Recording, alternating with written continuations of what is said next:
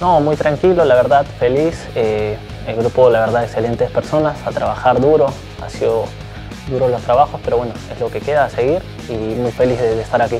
Sé que ahora ya estoy en otra, en otra posición y bueno, tengo que sacar lo mejor de mí y, a seguir para adelante. Tengo mucho respeto hacia, hacia Cueva, eh, ha dejado el nombre muy alto, entonces yo muy tranquilo a hacer, hacer lo mío y, y dar lo mejor de mí. En el reducido es es este, algo que, al jugador le gusta más, ¿no? Porque es, es un ida y vuelta, es tener la pelota más y bueno, puede, puede hacer un gol ahí. Entonces, muy feliz, duro el trabajo, pero bueno, es parte de... Y nada, eh, yo estoy para, para lo que el profe me quiera a disposición de él.